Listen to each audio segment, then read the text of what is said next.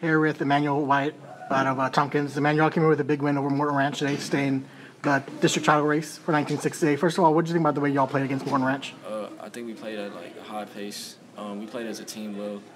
We're getting like better chemistry, and we're like just gelling together good.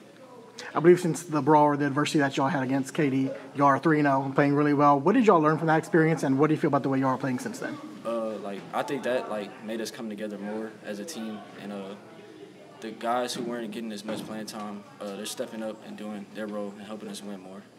How do you feel about the way you, y'all played since then? Are you surprised at all by the way this team has responded since then? Uh, nah, I knew we always had it in us, but uh, I think the fight like helped us bring it out, and we now now we showing everybody.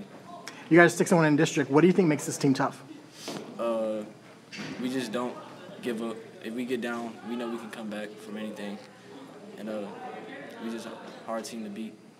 Through the process, since the adversity and the brawl, that could have brought young, a young team down. But what was the discussions like with coach, and, and what was the thought process for you guys through that whole ordeal? Uh, I mean, it was, it was bad that it happened. Don't smile. Don't smile. But uh, Don't smile. but um, it, it helped us like gel together as a team and get stronger.